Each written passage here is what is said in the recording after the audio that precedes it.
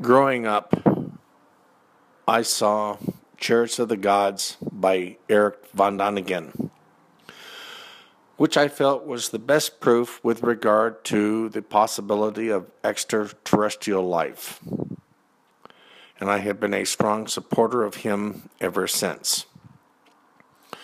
Recently, Dr. Steven Greer has come out with a wonderful documentary film called Unacknowledged.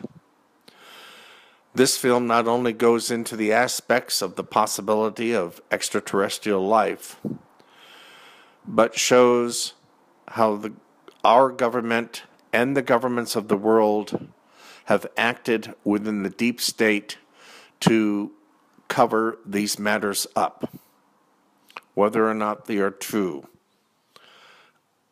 And it's interesting, especially with everything that's going on with the news today.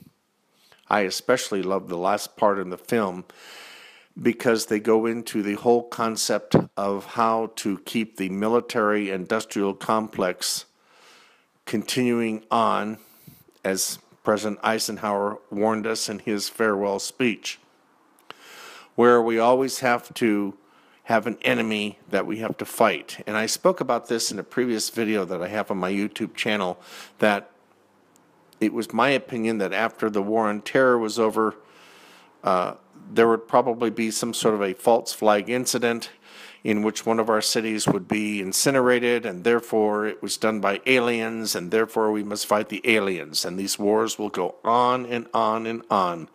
And doesn't that sound familiar with like what we're hearing today? I implore each and every one of you to see Dr. Steven Greer's film, Unacknowledged. Uh, it is available in a variety of platforms. I got my copy at Amazon, so those of you that have an Amazon account can purchase it there. But again, I tell you, it is that and Chariots of the Gods are the best films. I, I would say that would be the ultimate double feature. And I hope that, you know, if you have an open mind, you will enjoy it. Uh, you can see Dr. Greer's channel on YouTube. There's a lot of other information.